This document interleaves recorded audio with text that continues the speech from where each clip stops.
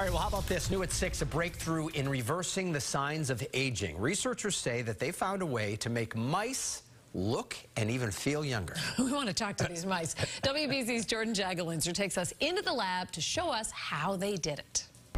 Researchers here at the Sinclair Lab within Harvard Medical School tell me this study is the first of its kind to show that epigenetics, which is the way that DNA is organized, can be changed, meaning scientists can now drive and reverse signs of aging.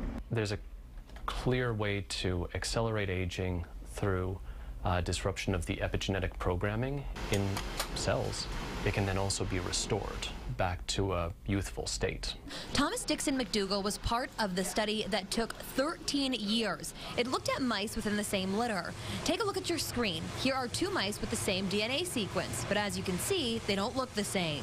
One of them has had this artificial aging construct that mouse is the one that looks older. Then researchers reversed that process. PhD student Chris Petty says by repairing their DNA, they made the mice more youthful. And turning these genes on is sufficient to erase aspects of aging. Petty says the process was harmless, like getting a shot at the doctor. The cells uptake the information, uh, translate that into messages in the form of protein that do all the work to remodel the chromatin into a more youthful state.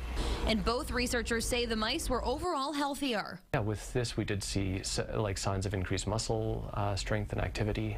They are now trying to figure out how the discovery could help people.